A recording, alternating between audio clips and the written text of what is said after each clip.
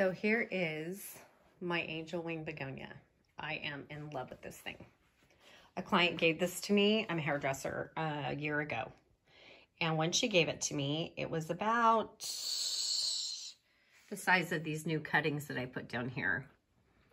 And she had it in a little bit of coffee.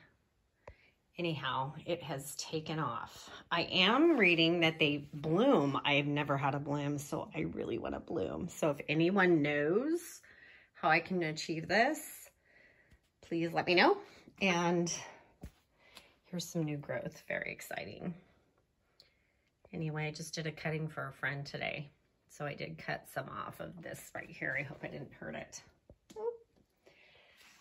So for any of those of you that know what to do with this to get it to bloom, please let me know. Thanks a lot. Have a great day.